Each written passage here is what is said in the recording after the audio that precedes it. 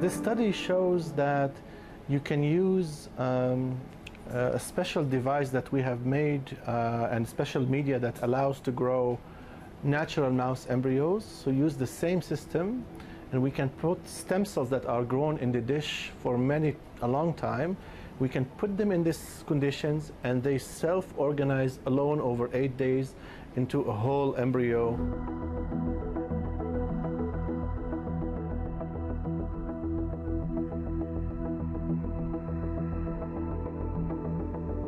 We'll be focusing on taking stem cells, uh, skin cells from a patient. Let's say I'm a patient, I need uh, liver cells, and take a biopsy, make stem cells in the dish, grow them in special condition, and put them in this device for about 20 days, and they will make organized structure, which we call synthetic embryos.